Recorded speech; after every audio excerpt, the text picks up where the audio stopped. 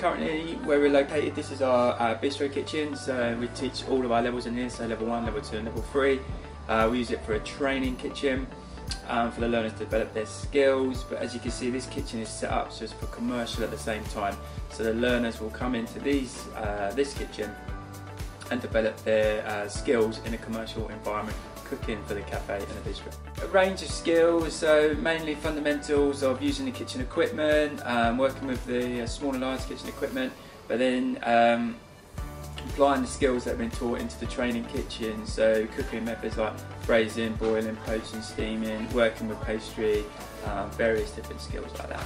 Students, uh, they practical lessons, we go for two sessions a week. Um, time wise, they can have between a, three and a four hour practical session.